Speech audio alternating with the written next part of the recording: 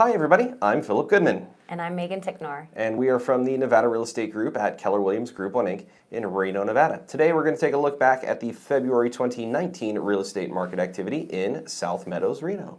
And if this is your first time watching one of our market reports, make sure that you like and hit the subscribe button and the bell to make sure that you get all notifications. Sounds good. Well, Megan, let's take a look inside Market Insights and see what happened in South Meadows. Let's do it.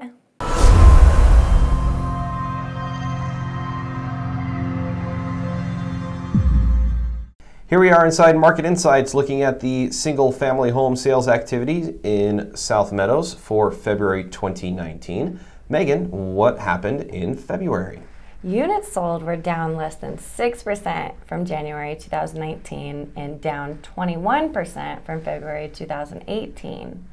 New listings are down 41% from last year, but only down 9% from January 2019.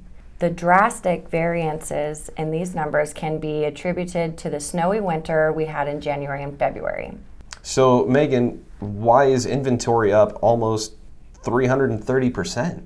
Well, we looked deeper into that and found that current inventory of 114 is loaded with lots available in the new developments on the north end of Rio Wrangler, just north of Damonte Ranch. And despite the weather factors and increased inventory, the median sold price at just under 470,000 is still 11% higher than in 2018.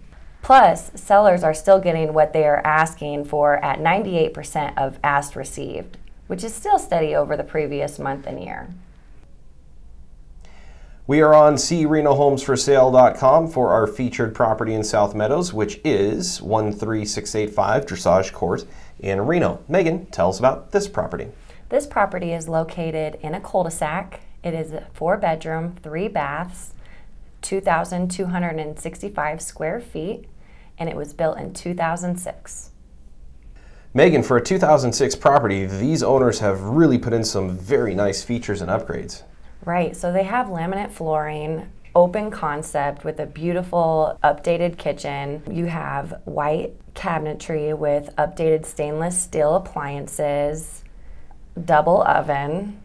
I really like this backyard. It's very manageable. You can let your dog run in the backyard. You have your pergola, great for entertaining. Well, there's your look back at the February 2019 real estate market activity for South Meadows in Reno. If you have any questions about the numbers we've discussed, or if you want to take a look at that featured property, you can contact Megan. Her information is in the description below this video. We hope you found all this information very helpful, and if you did, please give it a like and a share on your social media too. For the Nevada Real Estate Group at Keller Williams Group 1 Inc. in Reno, Nevada, I'm Philip Goodman. And I'm Megan Ticknor. We'll see you next time.